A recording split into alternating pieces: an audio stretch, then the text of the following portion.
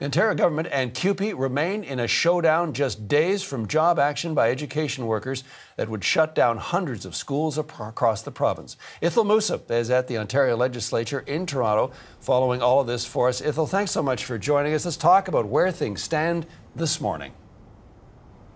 Well, John uh, CUPE, uh, they say that they presented a counter offer uh, late last night uh, to the government, and now government officials are reviewing it. Now, the union didn't provide any details on what it's proposing, but what we do know is that the Ontario government has proposed legislation that would impose a contract on workers, and it would also ban them from uh, striking. Now, the major sticking point, of course, is money. The union is seeking an 11.7 percent percent annual salary increase for its workers. Now, many viewers uh, may think that's uh, an outstanding amount of money, but you know, the union says it's really to make up for years of stagnant pay. Just to give you sort of an idea, from 2012 to 2021, uh, the uh, annual salary of education workers uh, increased about 8.5%. And during that same time in Ontario, inflation rose uh, almost to 18%. So, not really keeping up. Now, the government, for its part, is offering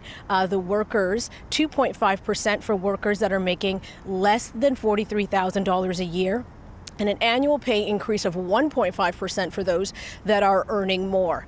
Now, CUPE workers say they're going to walk off the job if an agreement is not reached on Friday, and this is despite the Ontario government making its intention to use the notwithstanding clause um, to impose a contract and to ban striking.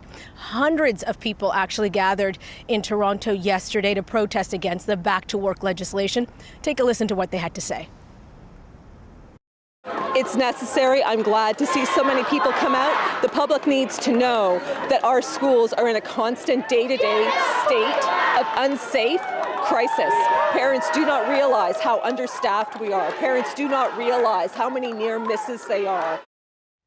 If, if the two sides can't come to an agreement by Friday, let's talk about what school boards are planning. Well, John, let me tell you, school boards are prepping across the province. In Toronto, in Ottawa, Hamilton, Waterloo, some of them are going to close if, uh, for in-person learning, rather, if, uh, you know, things uh, don't, if they, the two sides don't reach an agreement and a walkout actually happens. As are parents. Parents are also prepping for that possibility. CBC spoke to a few of them. Here's what they had to say about it. We still have to figure out how we're preparing. Uh, I'm very frustrated with the government, to be honest. We're lucky to have employers who are supportive, but you know, I think we need to support the people who work in schools. It's, I think it's an unreasonable use of an extraordinary power. We support uh, we support the workers. The workers have been very good uh, for my daughter, and I support them all the way. So there you have it right now, you know, parents and school boards preparing for the possibility that, you know, thousands of education workers could be walking off the job. And John, that includes, you know, early childhood educators, it includes, you know, administrative assistants and custodians. Uh, and, you know, so we'll just have to wait and see. Right now, as, you know, I mentioned earlier, CUPE, they've, you know, presented a counter offer and now it's uh, the government's turn to, to consider it.